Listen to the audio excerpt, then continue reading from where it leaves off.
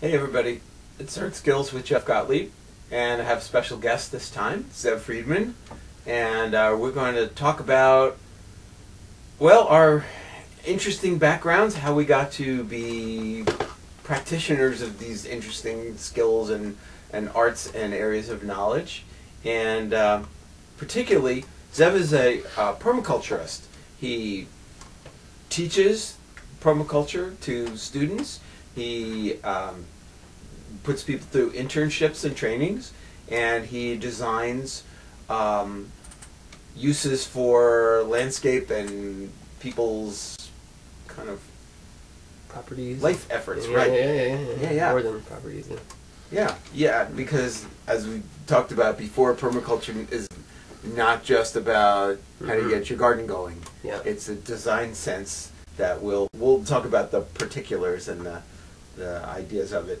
Um, but one thing that one thing that occurred to me is that we have a lot of knowledge in common and skills in common, Mm. but I don't think we got to the, the where we are now Mm. via the same sort of route. So it might be instructive to hear. Mm. Well, how did you get from being a little kid that didn't have a, a career yet Yeah. or a field yet, Yeah. and how did we get to be um, Mm. in our fields that we're in? Mm. So I guess I've, I've told the viewers before that uh, I started out as a naturalist. That was my first thing. Ever since I was a little child, I always wanted to know, you know, what animal is that? Where does it live? How big does it get? How do you know that one from the other one? Uh, what does it eat? What eats it? And that was just absolutely fascinating. So I Mm. studied zoology in Mm. college, and while I was studying zoology, I realized you can't really understand animals very well if you don't understand plants. Mm-hmm. So then I'm looking at um, animal interactions with plants and how they function, and they each give something and they each get something, and it all works. And then that led me to think about um, the non-living factors. You know, like Mhm. what about the minerals? What about the rainfall? What about the temperature? What about you know all the different things that that living systems are based on Mhm. on top of? And so while I was busy looking at living things working with their environments, I started to think, well, but what about our kind of living things? How Yeah. we, how how do we fit into our environment? And maybe how have other people done it? And maybe what could we do that's different that will work even better than what we're doing? Mm. So I started looking at uh, wild edibles and Hmm. um, different ways people garden and um, making things for myself. And then I started to look at other cultures, Hmm. and that led me to um, attend ceremony with native elders and study traditional skills with with archaeologists and, Mm, and mm. stuff like that. So I glued those two things Mm, together. mm.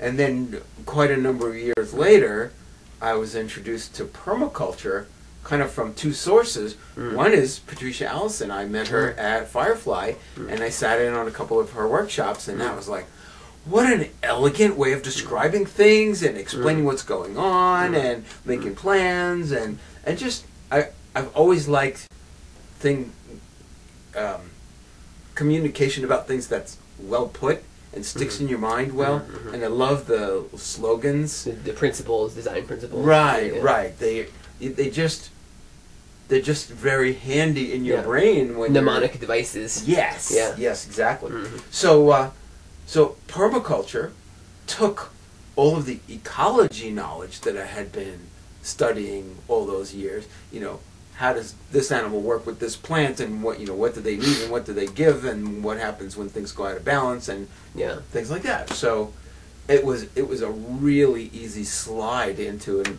another whole discipline. Yeah. So now I got the three glued together. It's kind of Mm. the, the holy triumvirate there, or whatever you want to call it. Yeah, permaculture and primitive skills and Mm. nature study. Mm. So I've not so much included permaculture in um, what I do for a living with other people, but Explicitly, right? right. yeah, Mm. but certainly. Well, I shouldn't say that either because it supports those things now. Right, right. Because I've used the Mm. design sense Mm. in my property to be Mm. able to Mm. do my other kinds of work. Mm, You know, like. I'm growing materials that I'm going to use, and it maybe nature put them there. I didn't put them there, but Yeah. there's room for them, and they help me. Yeah. And so, you know, it's all. the the the divisions are all fuzzy now. You know, It's an So- interlinked system. Who'd have thunk? it? Yeah. Yeah. So, uh, how did you get there? I don't think I've ever heard this story. Oh, right. We've known each other a long time, but Yeah. I've never heard this. well, I tell it differently each time. I'm sure. Yeah, and it's really interesting to hear your story about coming into this way of kind of systems thinking and design from naturalism, because that's how Bill Mollison, one of the main founders of Uh-huh. permaculture, got to it. Um, and he, he has a fascinating autobiography, by the way, if anyone ever wants to read. A very humorous, romping narrative. Mhm. It's a hard book to get because it's out of print, but um, Oh, but he came to it through naturalism as well and working in Australia and in New Zealand and in the rainforest there and then he got into anthropology and that so it was a similar kind of thing out of which his insights working with David Holmgren his grad student Mhm. and that's what permaculture came out of was the study of ecosystems or originally and natural organisms and how they survive and work and for me I I think I don't remember being as as tuned into the food web when I was a kid, as as you're describing. But I was I spent a lot of time outside because I grew up in this notorious three acre south facing kudzu patch that my father Avram Friedman still lives in in a house, and uh, along with two or three hundred groundhog companions Uh-huh. and uh, and so I spent a lot of time outside in that landscape with my especially with my friend Tayo and in and Ty Halleck and, and in his the um, big forested property that he grew up on over in Whittier and we were running around a lot in the woods and doing all kinds of things but I wasn't as tuned into the actual what was eating what and the kind of nutrient transfer stuff that was going on.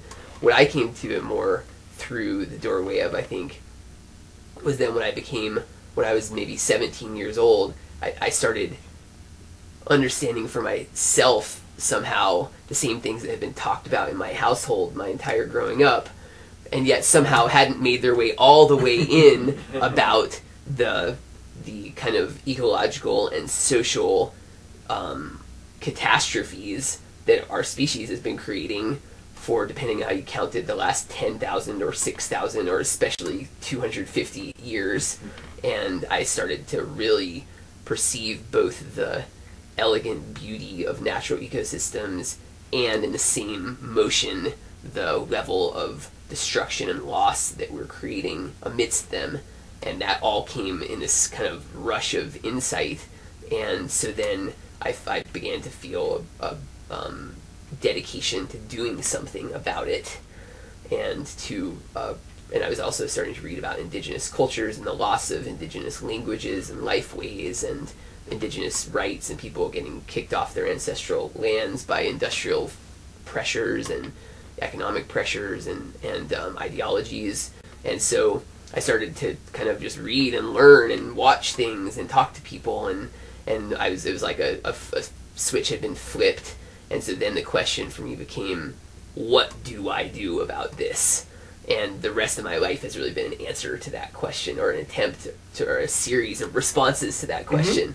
And there have been several major themes to it and permaculture is one of them one of the biggest themes in my response to that because i think of it permaculture isn't a um, it's not an ideology. It's not even a basket full of practices. It's not even a basket full of ideas. It's a way of thinking and approaching life. And so that which is when you really get down to it i think um, and why it runs so well together with earth skills is that in my life it, it's it's a it's an approach to being indigenous is what it comes down to indigenous meaning to be from a place that's what indigenous the kind of etymology is to be from a place and so permaculture is a way of humans paying enough attention to an ecosystem that we live inside of to become part of that, a functioning part of that ecosystem, including meeting our own needs. Hmm. That's the way I think about it. And so when we get really good at it, just like with earth skills, you go to Papua New Guinea or to the Cherokee or to people in Ireland, everyone makes cordage out of different materials and everyone eats different wild foods and different cultivated foods and everyone builds their houses in different ways that are tuned into the ecosystem and the weather patterns. And everyone has rituals and mythologies that are based in the plants and animals and weathers and proximity to oceans and rivers and those places. And so the way that that's tuned in that's how we become indigenous, and um, and that's what permaculture is. But I actually think of it as a transitional strategy. That's the way I try to live it in my life. Is is I think of I, I hope that in 150 years we don't have the word permaculture if our species still exists. I hope that we do exist, and I hope that we don't have the word permaculture Right, we just because culture. we just have diverse. I'd say like one definition I'll sometimes use in, in mixed company like this. in company like this is is is is that permaculture is a transition strategy for regrowing diverse biocultural lifeways. Okay. And so that's what it is. It's like, and if it succeeds, we regrow diverse biocultural lifeways and we mm-hmm. survive. And if something like it doesn't succeed, our spe- our pe- species is on an extinction path. So that's that's basically what I'm looking at is how do we have a deeply transformative approach to human life where we're basically having to reconsider and regrow most aspects of the way that humans exist and think and relate with each other and the landscape. And if we don't manage to grow new systems that are diverse like that, then we're going to drive ourselves extinct through violence and through genocide and through climate change and and species extinction. And so, for me, permaculture is a survival strategy and a transition strategy to diverse biocultural lifeways, and that's why I see, how I seek to practice it in my own life. I'm a professional. I make a living doing this because we have a cash economy right now. Right. But I, I don't think we, that in 150 years, I hope we don't have professionals. It's just we have mentorship and we have intergenerational transfer of knowledge. And so, right now, the classes I teach and the design work I do for groups and individuals and their properties and stuff, that's just to get it going. It's to relight the fire of um, the desire to be indigenous and the ways of learning that are required to do that. Yeah, I I um, I heard a, a point come through that has a, a name attached to it that I'd Mm. like people to consider, and that is regenerative. Mm, yeah. Not just I'm doing not, not just sustainable. Mhm. Sustainable means I can keep doing it. Regenerative means the whole system gets better. Yeah. And you know, it's it's not even that hard. Like to build soil. Yeah. We have we have all kinds of well we have mining. Yeah. You know, the way that we we do agriculture means that things are just taken out of the soil and carried Yeah. away, taken out of the soil and carried away, and the Yeah. only thing that gets put back is what can keep it going another year. Yeah. But it's not even as good as it was last yeah, year. right. The nutrient density of the food has declined since the since World War One in the U.S. because of that. Oh yeah, yeah, because yeah, and the thickness of the topsoil due to erosion because we're not, you know, we're not covering the soil. I, yeah, I, I totally understood the kind of native viewpoint of the Earth as a living being. Uh, not not necessarily the Gaia hypothesis, but Mm. maybe Gaia hypothesis is Yeah. saying that the Earth is a living being and it, you know, it's like any organism. It has different organs, none of which function without all the other ones, and Right. you know, so that so if you think of the Earth as that, then you could think of the the crust where we, all the life is located as the living skin, Mhm. and if you tear skin off Yeah. and you don't let it heal back and you don't keep it protected and you don't you know you let it dry out and let things damage it it, it will not go well Yeah. so so i i. I quickly adopted that metaphor and nowadays i have a horror of bare soil like if i drive by a place and somebody has turned over the soil like there's a there's a little a small farm big garden down the road from me and they they plow up the soil in this garden and they do nothing with it Yeah. for a month at a time Yeah. and i look at it and go all the nitrogen is leaving all of the organisms are dying it's you know and my garden i just even if i don't have living systems on it i at least have mulch on it Yeah. so even if i don't have any skin grown over it i have a band-aid Yeah. you know Yeah, I mean it's it's interesting because you look at the mm, the uh, kind of recent traditional farming practices around here, and there Yeah. usually are reasons that people do things. Oh, yeah. But Yeah. the reasons are themselves responses to previous poor systems that existed. Mm-hmm. So, for instance. If you know, a lot of times when people are tilling up in the spring like that, which is a common practice for planting a corn patch, what they're doing is they're there there's often a wet spring, so they're trying to break up the soil and actually dry the soil out Yeah. and make it more exposed to the sun so it heats up so the corn can grow better in warm soil. Mhm. But that whole situation is a response to having made the choice to grow in the floodplain in the first place, Mhm. Which is a bad idea. Mm-hmm. Well, and so like flood, some flood, yeah. years it works out fine, and this year maybe not so much. Yeah. Those of you who are in Western North Carolina might be aware of the news. We've had so much rain, almost 20 inches of rain this month, which meant that all the major rivers and large creeks are way above their banks, and they're literally in the floodplain. The, the French Right. Broad River that runs through Asheville. Yeah. I was at higher up, like towards Brevard. There, there are roads that leave the main road and just go in the water because Yeah. it's- all flooded. It's Yeah. unbelievable. Yeah. Yeah. Yeah, That's not a choice that indigenous people would make to put their big buildings and and farms that they Yeah. rely on food for in the floodplain where they can be destroyed every spring. Uh, Yeah. I don't know about that because if you look at if you look at um, like Kituwah Field, the Cherokees planted there continuously Yeah. for three thousand years. Yeah. and it's certainly possible for Tuckasegee to flood that. Possible. And every now and then, Yeah. it's not a bad thing for the soil. It's just that that year's crop will get ruined. Yeah. But in terms of all these micro floodplains like down next to creeks that flood Yeah. regularly, like Yeah. at Earthhaven, for instance, where I live, or lots of other places where you see human settlements, people have built their houses down just right above. along the creek. Yeah. That's um that's I don't think a winning strategy. Yeah. Well, But it comes also from if you're willing to constantly redo it. Yeah. Well, also is related to to social economic conditions of our region, and that a lot of poor European settler people got forced off the nicest land. Some of them got big Yeah. land grants, and the rest of them and the native people got forced onto the marginal land and away from the large valleys where they could choose to grow on moderate slopes rather than directly Mhm. down next to the creek. Mm-hmm. That's all tied together. Yeah, yeah. So many things are tied together. It's, Yeah. it's, it's the more the more I think, the more I learn about the different parts, the more it makes sense of how it all fits, and you end up talking about one thing, and in a moment you're talking about something Yeah. that would get another category if you bothered to Yeah. pull it apart.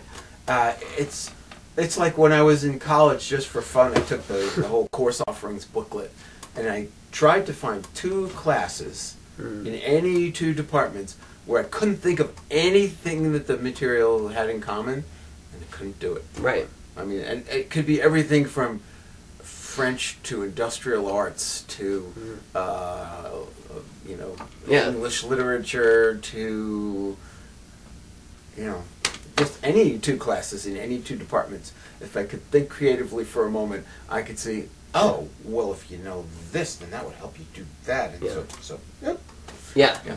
I mean, that's the source of a lot of the most cre- creative approaches is that so-called interdisciplinary but that's the way our minds and you were talking about mnemonic devices Yeah. earlier that's like with permaculture and the principle the permaculture design principles which is like 12 to 20 design principles depending Yeah. on who you talk to what those really are is a gateway each of the principles is a gateway into systems thinking mm-hmm. and it's it's Mhm. you know they're all whether you're talking about every element having multiple functions or Yeah. creatively using and responding to change or produce no waste each of those is the permaculture principle Sure. they just all lead to the same david holmgren says it's like the house of whole systems thinking and each of those is a doorway into the Mhm. house of whole systems thinking And I like the Yeah. word house there because the Right. the root of the word house is Mm. from the Greek Oikos, right. which is where we Ecology. get ecology. and economy yeah, yeah, which totally makes sense. And if you think of, I, I always thought of economy as being strictly what's money doing, no but I've come to understand by listening to podcasts by economists. Mm. Economists are thinking about well, why is it this way, Mhm. and what are people doing that produces this, and can we count on that information? It's all about people and Right. um, and motivation scientific method Yeah. verbally and culture and, and stuff like that Mhm. and looking at looking at value in more than one way which Mhm. is which is i think um, where a lot of people end up with unsatisfying lives because they Yeah. miss the other kinds of value that they don't Yeah. even know are valuable so they they go after just one or two kinds yeah and they don't realize that having a close group of friends and people to collab, friends and neighbors and people you collaborate with, Right. is makes your life better. Yeah. and it, it supports the other things in there, and Yeah. you know uh, all the different kinds of capital I've heard people describe. Yeah. social capital and Yeah. Yeah. All this, yeah, relational capital, social capital, yeah. money capital. Mm-hmm. There's eight different times, types of capital, I think, the way that it's described. Yeah. Yeah.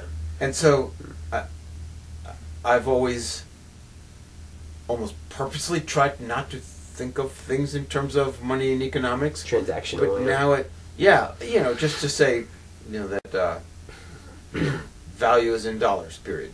Yeah. But that's, but now that I see that that econ, econom, economics is so much more, and it's so much more of a holistic look at things. Now it cheerfully fits right into my thoughts about permaculture, my Uh-huh. thoughts about uh, market gardening, and about um, how I make a living as a naturalist and a primitive skills instructor. Yeah. You know? And since I've had my little homestead, so much of those other forms of capital have come into play. Mm. Like if I'm if I'm needing fibers to teach people about rope making, um, I work with a plant called dogbane, who uh, Mhm. which sheds a lot of seeds when you Yeah. work with it and process it.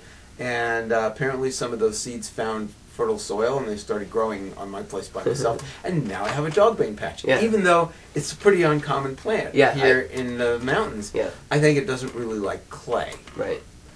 Well, likes my clay apparently. Mm. You know, so so I just look at I look at the wild plants and the plants that I put in, and I'm always looking to acquire more plants that do something. Yeah. And I, you know, I s- last time I came with six plants I think I think would be great on your homestead kind of Mm. thing. So, and some of the things that I talked about were that, um, well, why would you want to plant? You would want to plant if you can eat it. You'd want to plant if it makes medicine. You would want to plant if it produces something that you can utilitarian Right. in some way.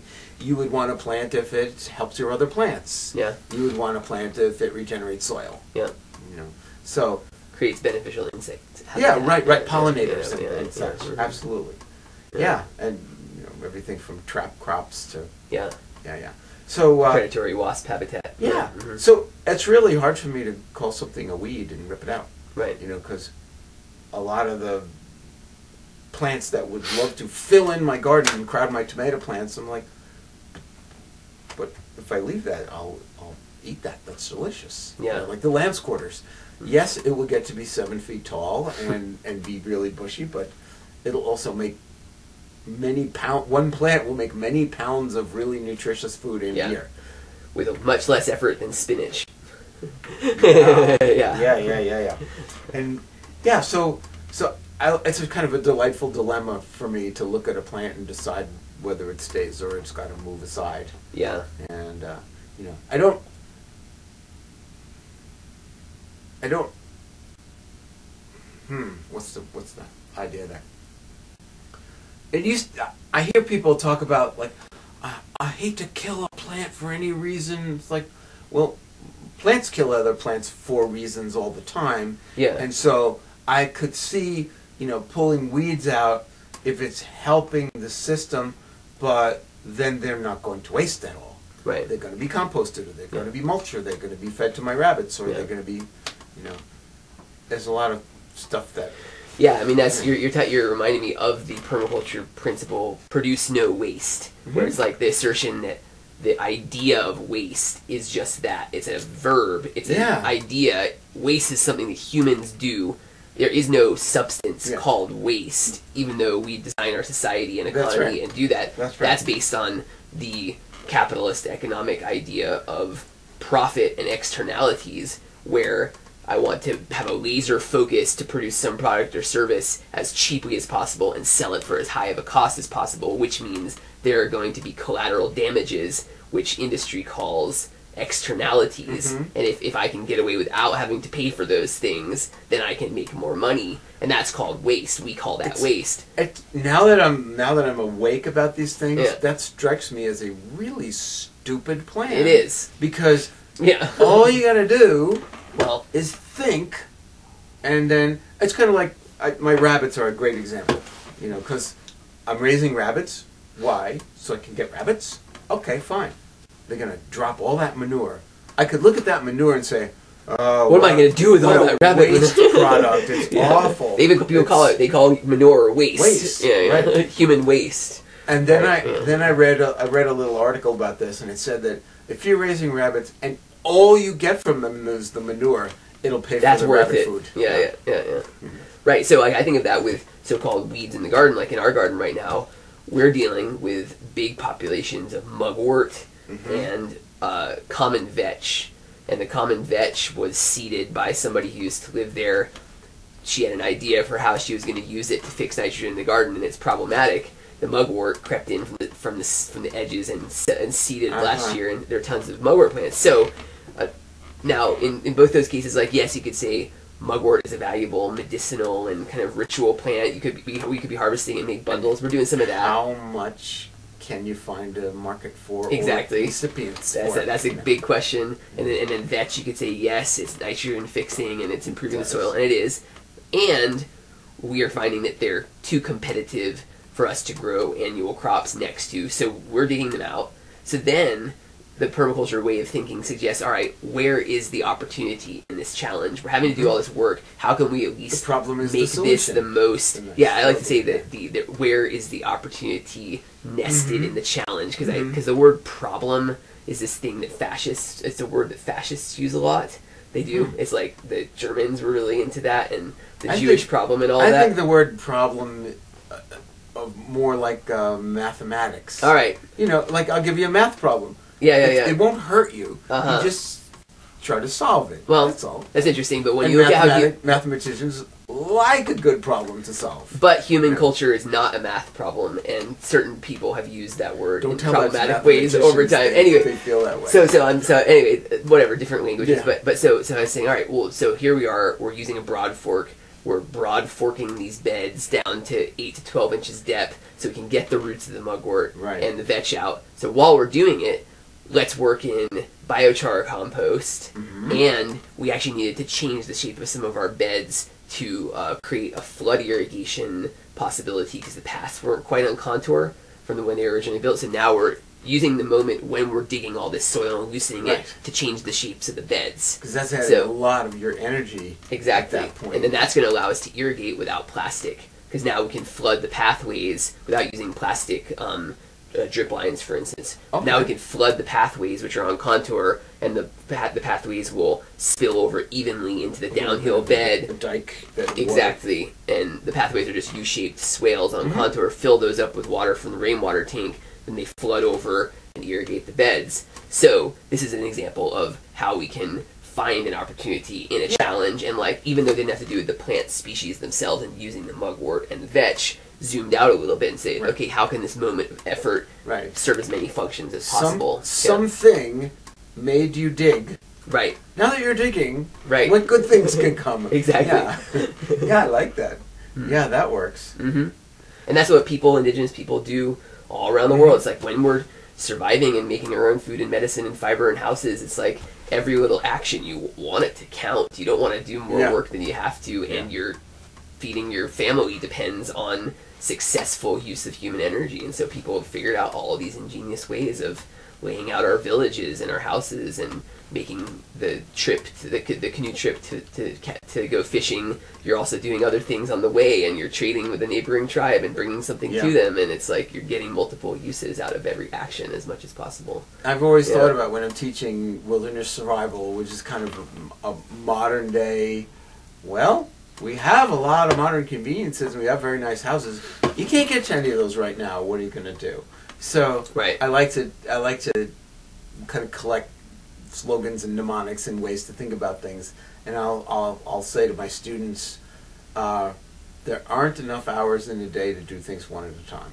yeah You know, you're just right. busy all the time. You Yeah. run out of time. yeah And yet, that's kind of how we how we do it in Yeah. dominant culture at this this point. yeah It's really it is compartmentalized and you know and it's it's difficult to get economies of scale and it's difficult Yeah. to collaborate and it's difficult to uh, share the products and it's difficult to like you know, even with maybe something that can't be helped, but certainly something that brings this up is um, single parent families. Mm. You know, and where you know even if even if it wasn't an intact nuclear family, Yeah. if people were closer together where they could collaborate, Yeah. collaborate on everything from childcare to sharing a refrigerator to I don't I don't care what it is. Yeah. But if we make it so that every little unit has its own household and has to take care of all its own needs all by itself, that means everybody has to buy every Yeah. product and everybody has to heat that separate space and get all their emotional needs met from that small number of people they're living with. And what if yeah. someone gets sick? Who takes care of the household? Right. And yeah, it's yeah, it's a Well, it's a dysfunctional system. yeah, so I think it's I think it's part and parcel to why people are unhappy and unwell hmm because it's not good for you. Yeah. Just so, luckily, you and I both know systems and people who want to do it a different way, who understand that you Yeah. know, the, the isolated nuclear family is just not all that not all that good a deal. Yeah. So we know I mean, we've been thinking about community and how communities form. Yeah. And uh, one of the things that uh, that started me on community thinking was uh, Scott Peck's book. Mm. Um, just reread it. Um, a different drum. I think it's called, and it, it's kind of early, 1980, Mm. thinking about what what is a community and how do communities form and what are the attributes of a community and about Yeah. community formation. It's really it's really nicely described about the psychology of community Mm. formation. It's a Mm. really nice book, really nice Mm. book. Um, and so thinking about that, and then I was thinking that you know I just could not get ahead as a consultant in the suburbs on Long Island. Mm. I just could not. I could not manage to do anything except hand to mouth, pay my bills, Mm. and keep a roof over my head. hmm And I thought, well, there's another way. Mm. And I heard David Winston, who's an Oh, yeah. adopted Cherokee medicine man Yeah. and a, a well-known herbalist, um, really wanted to see community forming. And so he brought this up with a group of friends that we used to do sweat lodges together. Um, and he had consultants come in and talk about um, native solutions to this need for community. And uh, so we were planning on doing this sort of a Oh. thing. And uh, it didn't pan out. Mhm. Like, founding a community is a hard process. You know, Yeah. uh, a piece of land that's big enough that you can Yeah. afford. The people have different ideas about what it is that they're looking Yeah. for, and we all come in with our scars and and our wounds, assumptions, yeah, and yeah, and uh, you know we don't even know that we're you know unreasonable and unhealthy in what we're asking for. That is until you have a community and you sit down in meetings, then it all comes spilling out of people. yeah, so we're we're each uh, connected to a number of different s- communities, and they can be like temporary ones where we just get together to do a thing, Uh-huh. and then we're happy that we did it, and then we all go back to our homes and we don't Uh-huh, talk uh-huh. to each And then we have communities where you know you live you live at a, a really strongly founded, long-lived, successful community, Earth It's Haven. got plenty of flaws and cracks, but yeah, yeah, it's 25 years Well, it's full in. of humans. Yes, full of humans. Yeah, Do you want to talk about how that fits with the permaculture principles and Sure. and what we were Yeah, Earth Haven Eco Village is where I live. It's down in northern Rutherford County, um, about an hour southeast of Asheville, and it's uh, was founded in 1995. Um, the land was purchased at the end of 1994, and um, and it was founded on. I mean, it was it was part of it's an eco village, and the whole eco village concept came directly out, out of the permaculture movement. So it was it was how do we apply these permaculture um, this permaculture approach at a community scale? Because people who have been practicing and experimenting with permaculture recognize that doing nuclear family design in backyards and so on wasn't going to have the type of transformational effect on our economy and culture that we need to survive and to grow the kind of future that we're imagining and they said how do we do this at a community scale and that's so what you weren't Eco Village is only about. thinking about forming the community to serve the community, but forming the community to serve the bigger needs. Yeah, well, and, uh, Yeah. to be- and of course, I wasn't a part of founding Earthaven. I was, I was uh, 14 years old when it was founded. But You would have uh, if you could. yeah, I would have if I could have. But uh, um, yeah, I mean, so the, the founders, there were 12 founders Mhm. who, who participated in buying the land and um, and setting it all up. And yeah, the mission of Earthaven is an inherently uh, educational mission. So that's right. What, what you know, the, the, what they said is there's a, there's a really one of the things I love the most about permaculture is the attitude towards failure, and and the attitude that um, if we can make lots of small mistakes, or even big mistakes, but but mistakes that aren't so bad that they destroy the thing. But if we can make lots of small mistakes, then we get to learn from them. And so, setting up systems that are ambitious and complex and have lots of experiments, you know, designed into them so that we can fail and succeed, but especially fail and then learn from those failures about the nuances of what we're doing. And so, Earthaven was deliberately set up that way as a they call it a living laboratory Sure. and it is that. Sure. And so it's a 330 acre living laboratory where they the founders designed it to basically test and experiment with every realm of what we're doing as humans right now with yes the landscape and passive solar building and off the grid living and our own water systems and roads and stuff but also decision making processes Uh-huh, and uh-huh. living arrangements and ritual and spiritual life and family life and um, on and on and on and on. Ways of learning and ways of mentorship. It was set up to experiment with all of those different things all at once. And it was maybe too ambitious in that way but but for that reason now there's lots to learn there. And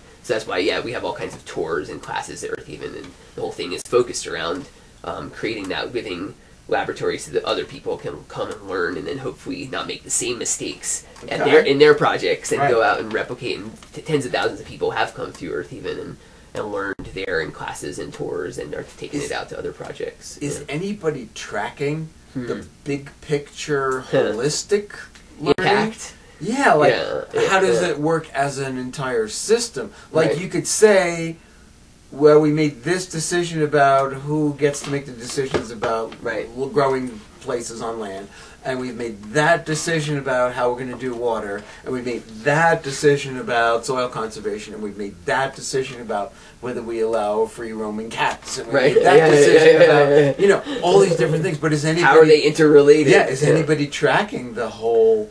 Um, That would require like a thing as a full time full time research team. I so it would. unfortunately, the answer is no.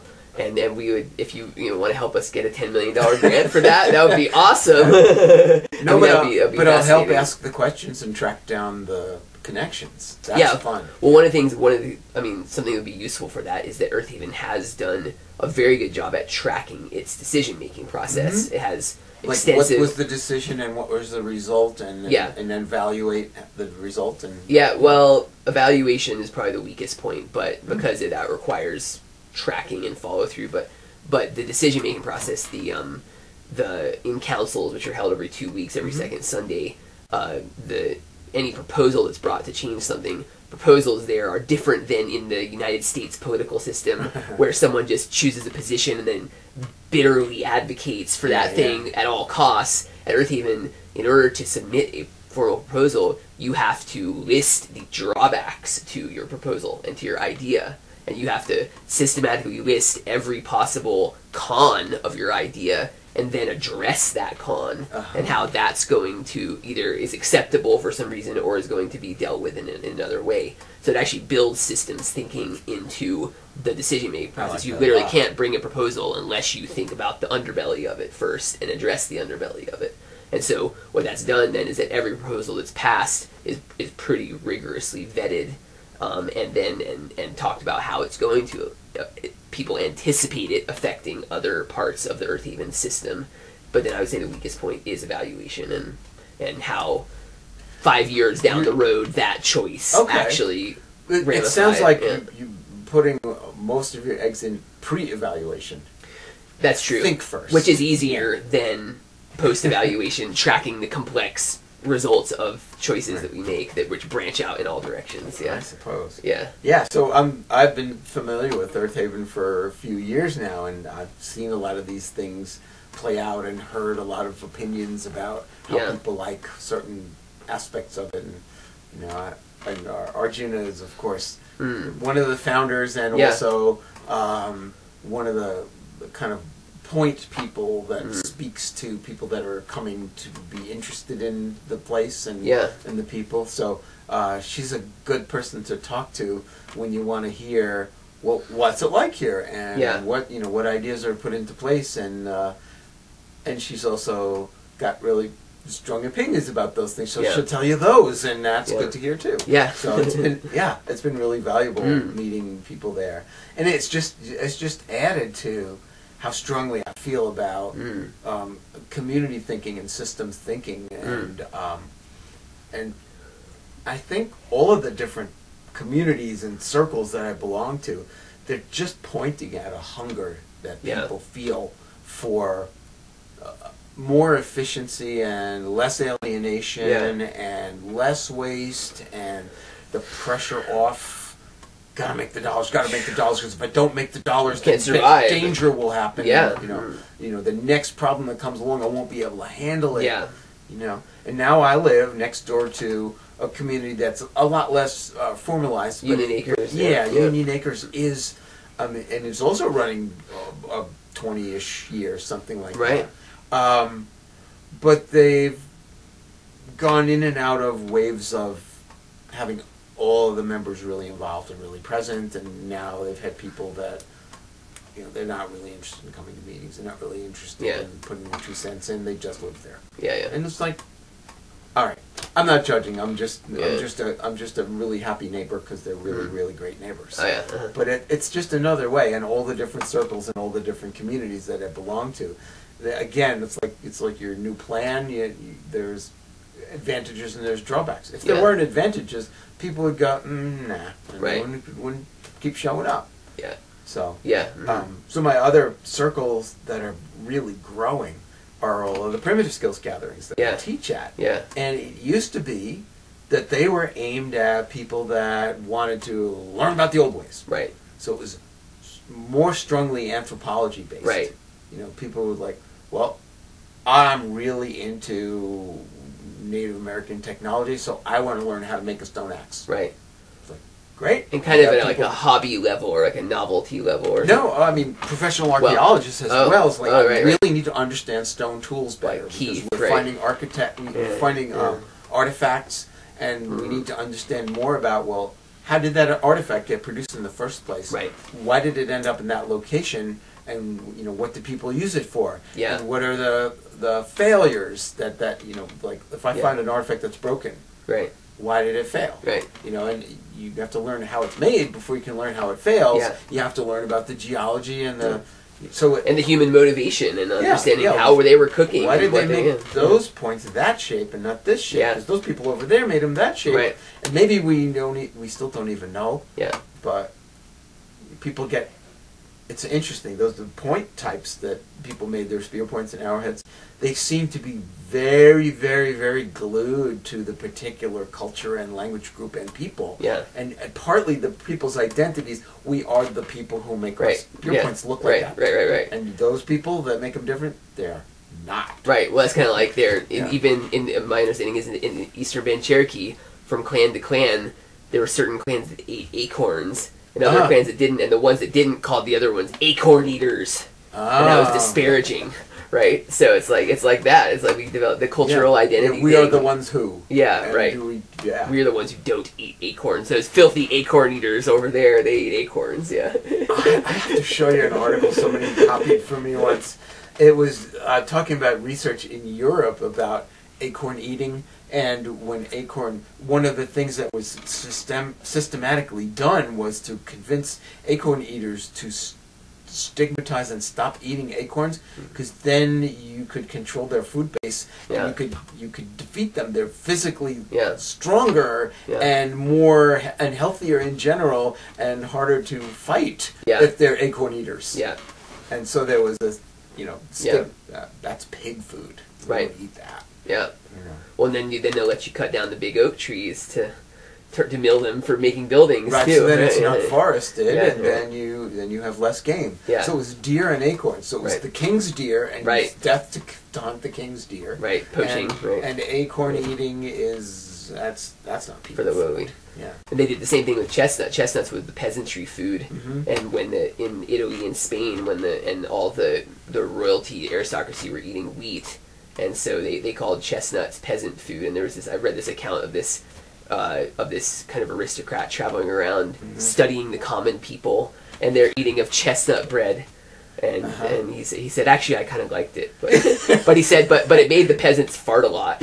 I said that too. Oh, then, then we gotta totally not do that. Then. Well, and it was the same thing with maize, with corn, when it got brought to Italy, and still to this day, corn is stigmatized as animal food in a lot of places in Western Europe. Hmm. Polenta was originally made from buckwheat Oh, I never knew that. and transitioned to corn in some regions of Italy. Mhm. So it's the same thing. It's like people we love to stigmatize and create an other through these Yeah. choices of food, and you see that in the U.S. too. It's been, Yeah. it's been very Yeah. freeing for me to throw that crap thinking away yeah, and just like I'll eat whatever food is food. right. You know? it, tastes, it feels good in my body. Yeah. and yeah. Right, right. If I don't like it, well, now then you have have another thing to think. Yeah, right.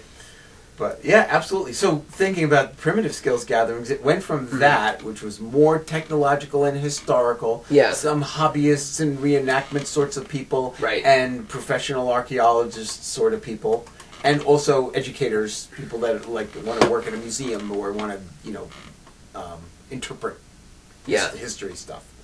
And then over the years, and I've been teaching at these things for 24 years, um, it's migrated to more. Well, how can I use those skills for me? Yeah. So I want to learn about wild edibles because I want to eat them, Yeah. and I want to learn about making buckskin clothing because if I have a buckskin shirt, you can't rip Yeah, it. it lasts It'll last forever.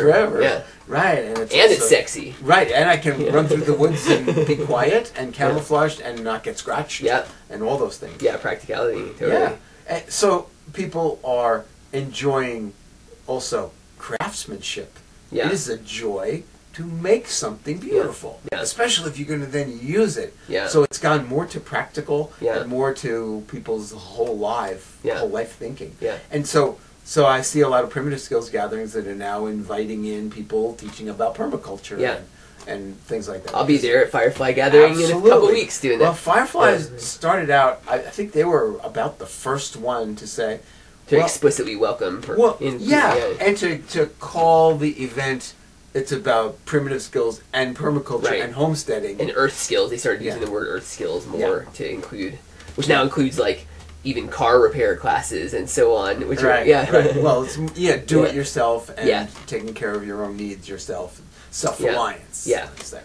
So, but the thing about it is not just the, you know, whether you go there and it's of use to you, but that it used to be that everybody would like go home at the end and then you might not go back to eating again. Pringles and right. Right, right, and you wouldn't, and you wouldn't see the people. I was Yeah. at it from Yeah. the community angle. You Yeah. wouldn't see the people or stay in touch with them yeah, necessarily. right. But over the years, it's become more and more valuable Yeah. to stay in touch in between Yeah. and say, you know, I'm, I've been doing the stuff that I've been doing for a long time, so I'm thrilled if somebody who's like 20 says, I really want to learn that, Yeah. and I'll say to them, come and visit me, Come on over. and they come and do it. Yeah, so there's for, formal internships, and I just Yeah. call them informal internships. Yeah, yeah. You know, come with the idea that you want to pursue Yeah. help me with some of my projects. I'll help you with your projects. We'll have a good time. We'll make Yeah. food. We'll Yeah, yeah. you know we'll have a nice visit.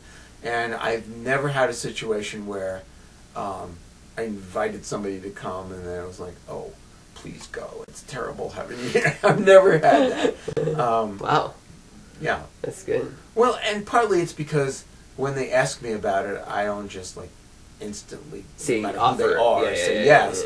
I gotta like sit with them for a bit or talk to them about what they want and and just see if I like them. Yeah, yeah, You know. yeah, yeah. Cause Relationship first, yeah, work second. Yeah, Yeah, yeah.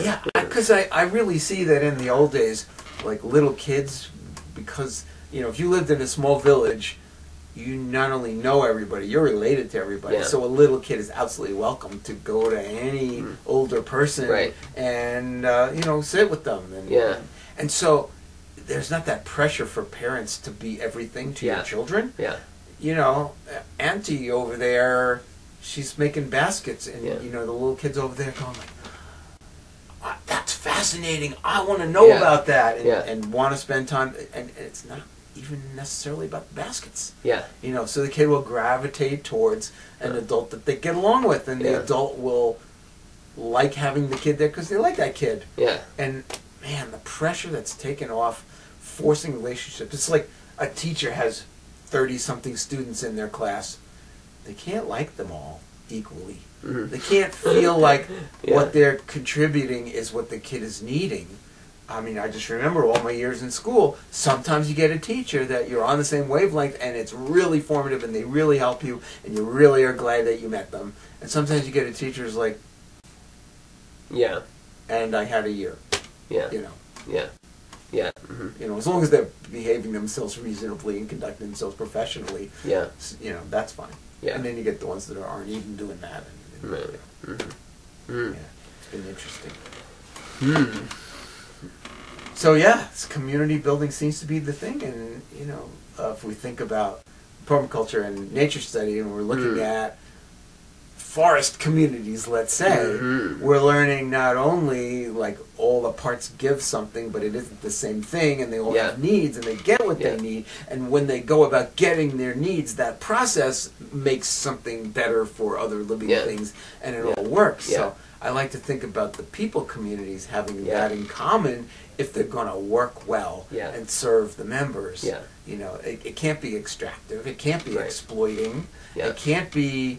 Um, well, yeah, there can't be waste there either. Yeah. You know, there can't be waste people. Yeah. There can't be waste activities. There can't be Yeah. waste. You know, it can't be re- waste due to um, everybody having to do their own. Uh-huh. waste, you know, Right. everything from everything from heating oil. Yeah. Like if you you're just the only person that lives in your house and you heat your house, Right. there's another person next door that's the only person living in their house and Right. they heat their house. What if we had fewer houses with more people in them? Yeah. We'd heat less houses. And kitchens. I mean, kitchens are the most Yes. expensive part of a building to build, usually. And so, and then Mhm. every house has its own complete, elaborate kitchen, or you have one That's the community one kitchen. part nobody Yeah. skimps on. You've That's right. got to have a refrigerator and a Yeah. stove and plumbing and, and Yeah. electricity and you know appliances and Yeah. But if you have a shared kitchen, then that's many multiple. That's a hearth. Yeah. That becomes what it's like the cultural anthropological description of Yeah. hearth, which is a very the ubiquitous pattern in village life. Is and there were even the old oven oven granary shrines in the Medi- in Mediterranean digs where they're Mhm. finding this. You know, there's a central courtyard, walled courtyard with multiple wood-fired ovens and counter space and, and granaries, and which were all shrines, and it was a sacred space, but it was where everybody gathered and made their food, and all the kinds of social interactions happened, and mhm, ceremonies mhm. happened, and probably wedding proposals happened, and business deals happened, and it was Well, all going on They in that happen space. through all kinds of you know rich community interaction like that. I Yeah. even with the primitive skills gatherings that I've been going to for all this time, I can think of lots of long-term relationships and some Right. weddings that have sprung from those. Plenty of business arrangements and Yeah. opening schools and educational Yeah. organizations and Yeah. uh, people deciding to live in shared space together because it works and and seed exchanges. seed, Which is a big deal. It's a big place where genetic transfer happen. exchanges, Yeah, yeah. information exchanges. Yeah, yeah. Yeah. I, I love it. It's it was like coming in out of the cold. yeah, totally. Well, that makes me want to mention Green's project, which we were on Mhm, here after the last in, in April with Green, Dr. Green Potter, and um, Courtney Brooke and myself talking about her pro- her project over in Mhm. Dillsboro on Mactown Road, where she's getting this forty acre thing going on around her um, rural medical clinic, and the idea is for that to be a community center and a retreat center and a hub for community activity, much like what we're talking about. Smaller scale than Earthaven, it would ne- it would never have the number of people at Earthaven. Well, it's but only forty acres. It's only 40 acres, A lot of but- it's like this. yeah, it's steep pasture. But for it to still be a place with trails and where people can learn to take care of themselves, Yeah. not in the isolated um, framing of just human health, but how to take care of oneself by learning about interacting with other people in, in a natural setting and interacting with plants and learning about plant medicine and exercise and physical work and understanding that human health arises not by shooting down uh, disease necessarily only, but by growing a Mhm. system of health from from good practices and habits, and I like she's trying to create that. Yeah, I like thinking that you have microcosms and macrocosms, and they're all systems with complicated parts. Yeah. So even just your individual health yeah, has to do with what's going in, what's going out, uh, Yeah. where are you, Yeah. um, you know, how do you think, and Yeah. your mental e- ecology, in a sense, um, affects whether your immune system is going to oh, so much. police up all of the new organisms that you come in contact with, Right. or not. You know, And what you eat affects the serotonin made in the belly, which Right. the serotonin then goes to the brain. Yeah. And then if you're depressed, then are you getting exercise and are you eating well? No, probably not. And Which if then you- reinforces the pattern. And even if you were eating it, if you're depressed, are you are you assimilating it into your cells? You might that might affect all those things. So yeah, so um, sometimes when I do this show or I do any kind of a talk, I don't necessarily know the title till after I've finished the whole thing. ah, So so. What would you? How would you title our discussion? What we just talked about? our hour. Yeah. Well, we rambled, but we didn't. You know, Yeah. we kept all all within one way of understanding.